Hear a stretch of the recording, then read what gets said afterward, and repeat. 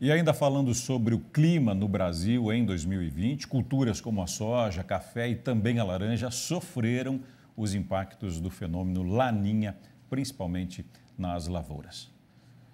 Sobre esse assunto, eu converso a partir de agora com a jornalista especializada em agro da Climatempo, a Ângela Ruiz. Já divide a tela aqui comigo. Ângela, seja bem-vinda.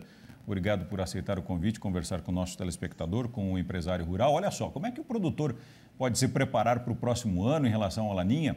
E os impactos também desse fenômeno no campo, hein? principalmente nos sistemas de irrigação e de cisternas, na sua opinião, é, seriam opções viáveis? Boa noite. Boa noite, Márcio. Boa noite para todos os telespectadores. Bem, Márcio, respondendo a sua pergunta, eu vou começar falando um pouco dessa laninha, né? Essa menina travessa que está aí é, trazendo aí muitos prejuízos econômicos para algumas áreas, para alguns setores, inclusive para o agro. Bem, a laninha ela foi considerada forte no mês de novembro agora de 2020, mas o que a gente observa agora nesse momento, os prognósticos dos meteorologistas da Climatempo, é que a laninha ela está com uma tendência agora de perder uma intensidade. Veja bem, ela ainda está forte, mas o que se projeta é que para janeiro ela já seja uma laninha moderada e lá em março uma laninha fraca. Então, o que, que isso quer dizer? Quer dizer que a gente vai ter chuvas acima da média acontecendo na região sul do Brasil, em Mato Grosso do Sul, São Paulo, Rio de Janeiro, é, Amapá, Roraima, Amazonas, Mato Grosso e Goiás ficam com chuvas abaixo da média. Então, o que, que isso quer dizer? Que os produtores rurais de Mato Grosso e de Goiás podem sim ocorrer aí nas suas áreas de lavoura um veranico. Então, episódios de veranico para milho, para café, para soja, para gado, podem ser observados em Mato Grosso e Goiás nesse período aí que a gente vai entrar do verão. Veja bem, eu falei de veranico, né, para Mato Grosso e Goiás, porém, agora para dezembro, a gente está observando uma zona de convergência de umidade que vai se formar sobre essas áreas onde está previsto menos chuva e essa zona de convergência vai trazer chuvas mais distribuídas para essas regiões.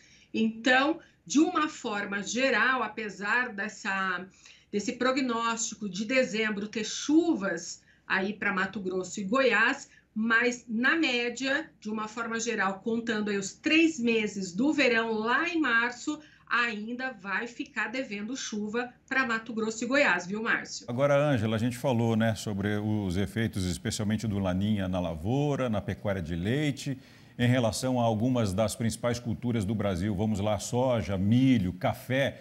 O que, que os produtores podem esperar? E eu vou além também, quanto tempo né, essa menina travessa, como você disse, é, deve durar?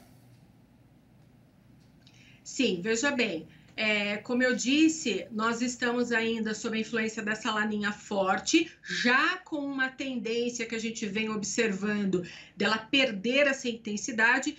Isso já se mostra nas chuvas que estão acontecendo na região sul, né? Então, a temperatura do Atlântico a gente já observa que está diminuindo, e com isso a gente tem aí entradas já de frentes frias, as frentes frias passando, zonas de convergência de umidade conseguindo aí se espalhar pelo país, também muita umidade pela região sul, trouxe de volta a chuva para a região sul do Brasil.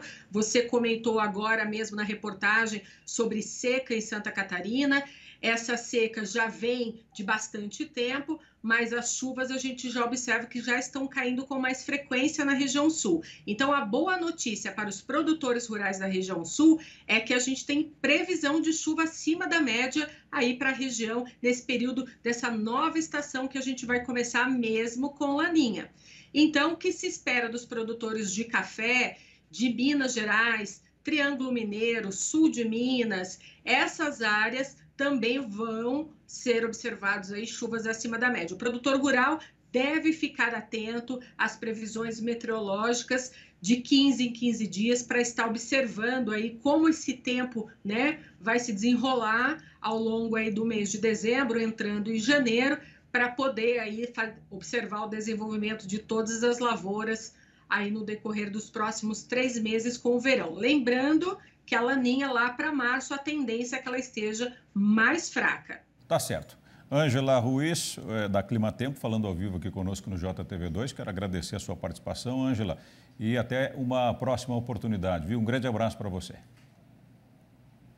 Um abraço, Márcio, para todos. Até logo. Obrigado mais uma vez.